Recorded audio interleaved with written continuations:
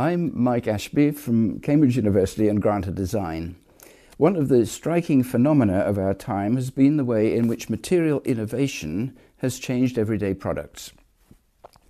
At the start of the last century, an engineer had perhaps a hundred materials to choose from. Today, there are tens of thousands. What does an engineer need to seize the opportunities that these present? They need the right materials information and tools to manage, mine, and manipulate it. This perspective has driven our work at Cambridge University and Granta for over 20 years. We began by developing material information resources and novel selection software for higher education, and we remain involved with education initiatives to train the next generation of engineers. But as far back as the 1990s, our work with leading engineering enterprises highlighted some more basic material information challenges. These organizations generated and consumed material data, often in huge quantities. It came from testing, from quality assurance, research, suppliers, and reference sources, but systems to manage the data were lacking. This led in 2002 to the founding, with NASA and ASM International, of the Material Data Management Consortium.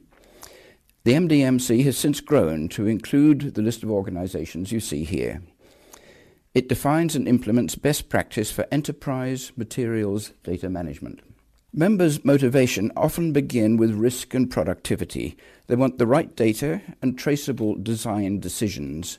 They want to protect expensive test data and they want faster design. The resulting materials information technology embodied in the Granta MI software is now well established in aerospace, defense, and energy and its use is growing quickly in sectors such as automotive, wind power, and capital equipment. These companies are moving past the initial focus on controlling data towards using this data to answer questions like Can I substitute this material? or How do I avoid restricted substance risk? Such questions relate to design and to product lifecycle management. So the latest software integrates materials information technology with CAD and CAE and PLM systems. Talk of integration brings us back to where we started, material innovation.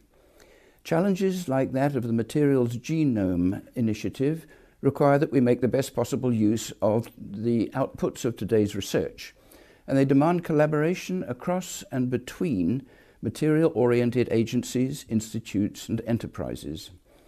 To achieve this, we must integrate data and software tools from various computational, experimental and theoretical approaches spanning a wide range of length and time scales. This poses very similar material information problems to those that the MDMC has already addressed at the corporate level. Thank you. We look forward to participating in the next chapter of the Materials Information Technology story.